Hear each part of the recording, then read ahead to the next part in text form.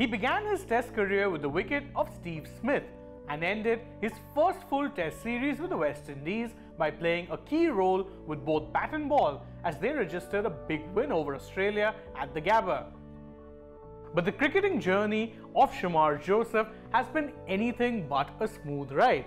In this video, we will take a look at the arduous journey that Joseph has taken to the very top of the sport we all love.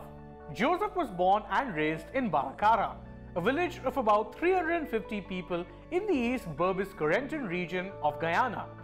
The village of Barakara is about 225 kilometers up the Canje River and getting there usually takes two days by boat from the port city of New Amsterdam.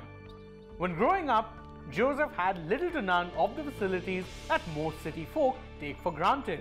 The village only reportedly got internet connections in the year 2018 and the main source of entertainment for the village folk was a sole black and white television used by everyone who lived there.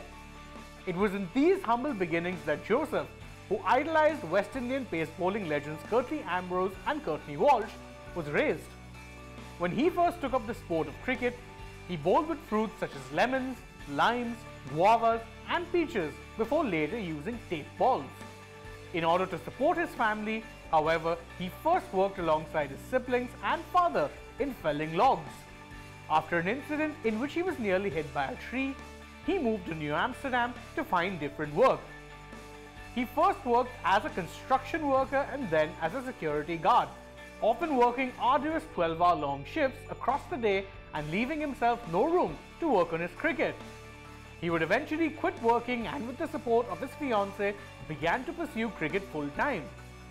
He impressed at the start of his domestic career for Guyana but really caught the eye of many in the 2023 edition of the Caribbean Premier League where he played two games for the Guyana Amazon Warriors as they emerged champions. His raw speed and consistency made him stand out as a future prospect but his big call-up came much earlier than expected when he was named in the West Indies Test squad for the two-test series against Australia. Two tests and 13 wickets later, the whole world knows the name Shamar Joseph.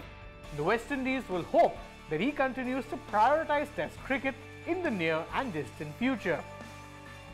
We hope you enjoyed this video and if you did, you can let us know in the comments below and don't forget to like it, share it with your friends, subscribe to the channel and tap that bell icon as well. Also go ahead and follow us on social media, we're on Instagram, Twitter and Facebook and don't forget to download the Sportstek app. Last but not least, if you're still on the channel, go ahead and check out some other videos we've done as well and stay tuned for more such stories from the world of sport. For now, from my side though, it is goodbye.